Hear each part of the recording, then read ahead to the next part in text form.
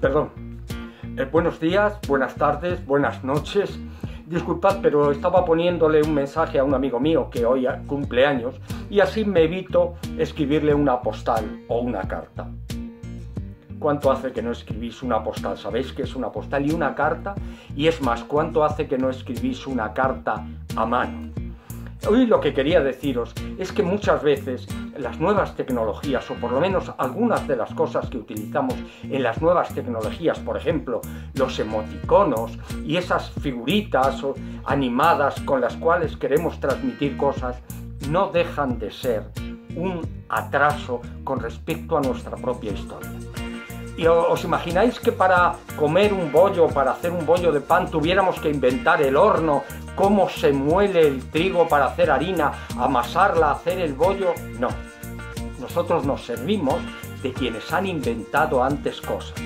Pues igual pasa con la escritura. La escritura es parte de la historia de la humanidad y no y despreciarla es un poco traicionarnos a nosotros mismos. Las primeras escrituras que se conocen son de hace 6.000 años. Eran tablillas en las cuales los ganaderos decían, pues eh, te he vendido dos cabras y se escribía cuando estaban frescas y luego eh, cuando endurecían se podían transportar. Fueron los primeros, las primeras escrituras. Luego esto ya fue transcurriendo, el hombre, la mujer fueron pensando y complejizaron un poco la escritura y al principio eran pues eso, dibujos que transmitían una idea, un poco lo que estamos haciendo nosotros con los emoticonos. Solo transmitían una idea, pero no transmitían un discurso complejo, no transmitían un estado de ánimo un poco detallado. Luego después la historia ha ido avanzando y eh, llegó un momento en que alguien, a alguien se le ocurrió que ciertos trazos grabados en el papiro, en el papel o en una tablilla, podían constituir algo como un sonido.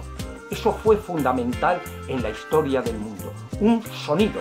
Lo que quería decir que ciertos trazos que significaban un sonido podían combinarse con otros trazos que significaban otro sonido y que esos sonidos combinados formaban una palabra y que después las palabras combinadas podían formar un discurso.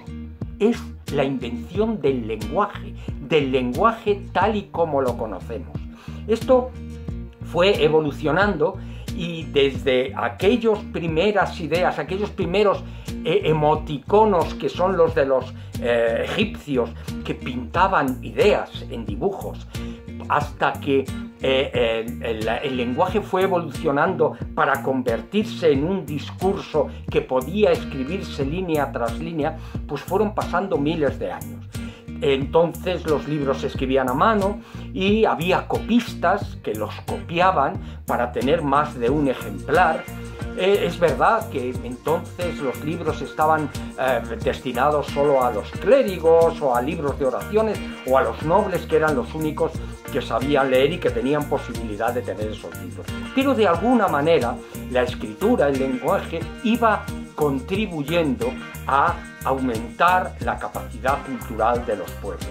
Ya a finales del siglo XV de nuestra era, eh, Gutenberg inventó la imprenta, la imprenta que era la posibilidad de hacer muchos libros iguales a la vez, mediante tipos metálicos mojados en tinta, impresos en papel, pues se podían eh, reproducir libros. Eso fue el inicio de la transmisión del lenguaje de la escritura y por lo tanto de las ideas a lo largo de la historia. Fueron eh, avanzando las técnicas de escribir y de imprimir a la vez. Eh, empezaron a surgir pues, las máquinas de escribir, las plumas estilográficas, que si no las habéis oído nombrar, os eh, digo lo que son, son plumas que en vez de mojarse en un tintero llevan la tinta incorporada dentro, el origen del bolígrafo, que es lo mismo, es un instrumento que lleva la tinta densificada dentro y que mediante la bola pues es distribuida. A la vez fueron avanzando los medios de reproducción, primero las imprentas, después las fotocopiadoras, las reproductoras y la cultura fue expandiéndose y los escritos pero todos tenían algo en común. Todos utilizaban el lenguaje escrito, las palabras, también los idiomas, pero el lenguaje escrito que había sido inventado desde aquella tablilla de Uruk que, de que os hablaba hace 6.000 años, había venido desarrollándose. Y ahora, pues lo tenemos el lenguaje escrito en el teclado del móvil. Pero la utilización de únicamente emoticonos o dibujos que transmiten solo una idea, estoy contento, estoy feliz, estoy llorando, me voy, es de alguna manera un, retroceso grande que nos quita un poco la dignidad de ser los herederos digitales de toda una tradición. Así que mi consejo es simple. Sí, utilizad puntualmente emoticonos, dibujos, ideas simples, pero no renunciéis jamás a escribir, aunque sea en el móvil, ideas complejas, palabras, un discurso, un texto, porque eso es hacer honor a algo que viene desde hace mucho tiempo, a algo que empezó también con la historia de la cultura.